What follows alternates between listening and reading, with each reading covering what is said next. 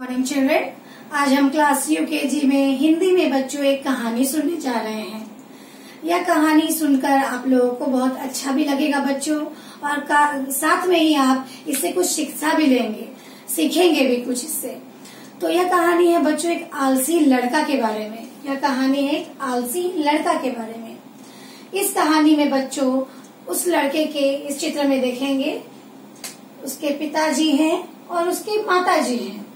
ये दोनों एक गाँव में रहते हैं और उस गाँव में उसके पिताजी खेतों में काम करते हैं बच्चों। उसी खेतों से काम करके वो अपने घर का गुजर बसर करते हैं, घर को चलाते हैं और उनका बेटा भी साथ में रहता है। लेकिन उसका बेटा जो है बच्चों, बहुत ही आलसी, सुस्त एकदम बच्चा है। एकदम आलसी बच्चा, वो कुछ भी करना नहीं चाहता है। बस केवल घर में रहता है, खाता है और सोता है। अपने पिताजी के कामों में हाथ भी नहीं बटाता है। उसी, इसी कारण से उसके पिताजी बहुत दुखी रहते हैं कि मेरा बेटा क्यों मेरे कामों में हाथ नहीं बटाता है। लेकिन उसका बेटा बिल्कुल भी उनकी मदद नहीं करता है। तब यहाँ इस चित्र में देखेंगे बच्चों हम लोग। उसके पिताजी अचानक खेत पर काम करने जाते हैं तो उनके पिताजी के पैरों में एक सांप ने काट लिया। सांप ने उनके पैरों में काट लिया। तब उस, उसके बाद, उसके पिताजी इस चित्र में देखिए बच्चों वो काफ़ी बीमार रहने लगे। हमेशा वो बीमार रहते थे। फिर उन्हें बहुत चिंता होने लगी कि मैं इतना बीमार रहता हूँ तो मेरा घर कैसे चलेगा? हम लोग कैसे खाएँगे, रहेंगे? तो उन्हें काफ़ी चिंता होने लगी। उन्होंने क्या किया, बच्चों, एक दिन अपने बच्चे को बुलाया, अपने बेटे को बुलाया और बुलाकर बोला, बेटा, मैं तो अब बीमार रहता हूँ तो हमारा घर कैसे चलेगा? क्यों नहीं बेटा, तुम खेत पर जाते हो और काम करो तो बेटा बोला, नहीं पिताजी, मुझसे बिल्कुल भी नहीं होगा, मैं नहीं कर पाऊँगा। क्योंकि बेटा तो आलसी था, सुस्त था, वो तो करना ही नहीं चाहता था। तो उसने साफ़ मना कर दिया अपने पिताजी को कि मैं नहीं करूँगा। फिर उसके पिताजी ने सोचा कि क्यों नहीं, इसे मैं कुछ और ही बात बोलता हूँ और देखो ये करता है या नहीं। उसके पिताजी ने फिर उसे बुलाया और बुलाकर बोला, बेटा, तुम्हें पता है, हमारे खेतों में धन गाड़ा हुआ है। पर मैं क्या करूँ बेटा? मैं तो बीमार हूँ, मैं तो नहीं निकाल सकता। क्यों नहीं बेटा? तुम ही जाकर उसे निकाल लो। क्योंकि अगर हम नहीं निकालेंगे तो किसी और के हाथों में वो लग जाएगा तो फिर हमें नहीं मिलेगा। यह सुनकर बेटा के मन में लालच आ गया। उसे देखिए, इस चित्र में देखिए बच्चों, उसके मन में लालच आ गया। वो सोचने लगा, अरे, धन मिलेगा? यह सोचकर वो क्या हुआ? तैयार हो गया। पिताजी से बोला हाँ पिताजी। ठीक है, मैं जाऊँगा और धन को निकालूँगा। वो क्या हुआ, यहाँ इस चित्र में देखेंगे। वो कुदाल लेकर के जाता है खेतों में काम करने के लिए। वो निकल गया काम करने के लिए। जो वो खेतों में गया काम के लिए, उसने बहुत मेहनत किया, खेत को पूरा, पूरी तरह से खोदा पर उसे कहीं भी धन नहीं मिला। कहीं धन नहीं मिला।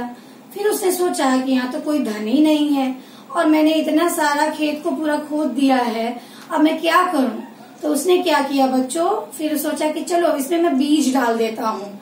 तो उसने बीज को डाल दिया।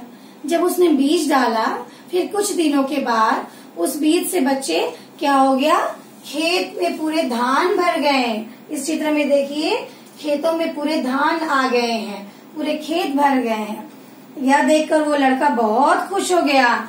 अरे, खेतों में धान आ गए तब उसने सोचा कि जब खेतों में धान है तो क्यों नहीं मैं इस धान को ही बेच दूँ? और बेचकर मुझे से काफ़ी सारे पैसे मिल जाएँगे। उसने क्या किया? खेत को, ये धान को गाड़ी में रखा और चला गया शहर की ओर।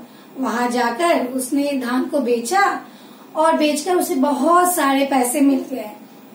उन पैसों को लेकर वो अपने पिताजी के पास गया और बोला, पिताजी, आपने तो बोला था धान खेतों में तो धन है, लेकिन वहाँ तो कोई भी धन नहीं है पिताजी। लेकिन मैंने कुछ मेहनत कर लिया। उस मेहनत के द्वारा मैंने धान उगा लिए और उगाकर मैंने उस धान को बेचकर ये पैसे लाए हैं। तो यह सुनकर पिताजी बहुत ज़ोर ज़ोर से हंसने लगे, बहुत खुश हो गए वो। वो हंसने लगे, बोले, अरे बेटा, यही तो वो धन है जो तुम लाए हो। क्योंकि जानते हो बेटा, जो मैंने तुम्हें कहा था कि धन है खेतों में, वो मैंने तुमसे झूठ बोला था बेटा। मैं चाहता था कि तुम मेहनत करो, काम करो, इसलिए मैंने तुमसे यह झूठ बोला था। और देखो क्या हुआ बेटा, तुम गए खेतों में, काम किए, धन उगाए, और उसी धन को तुम बेचकर पैसे लाए हो, यानी तुम मेहनत किए हो। यह सुनकर बेटा भी खुश हुआ हाँ पिताजी, आप सही बोलते हैं, मैंने तो मेहनत किया है। पिताजी, अब से मैं रोज आपके कामों में हाथ बटाऊँगा, आपके साथ मेहनत करूँगा पिताजी। यह सुनकर पिताजी और बेटा दोनों बहुत खुश हो गए।